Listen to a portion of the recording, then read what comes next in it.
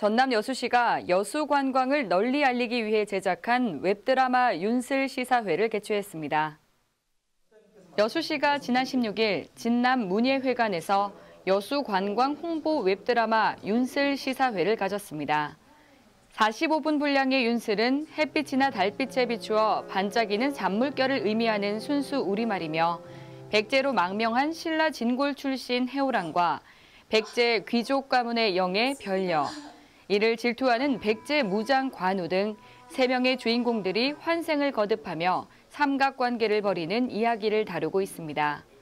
여수시는 유튜브와 여수관광 SNS 힐링 여수야를 통해 웹드라마를 공개하고 온 오프라인 이벤트와 이모티콘 제작 배포 등 다양한 홍보를 진행하고 있으며 현재 윤슬은 제7회 서울 웹페스트에 선정돼 오는 8월 시상식에서 수상을 기대하고 있습니다.